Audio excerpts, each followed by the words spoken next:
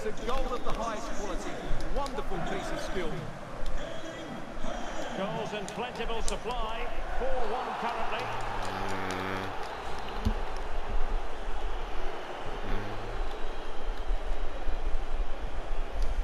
Salah. Fabinho.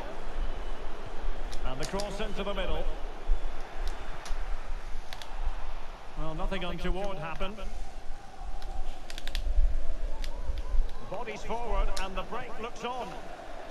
And just making the run a bit too early. Offside as a result.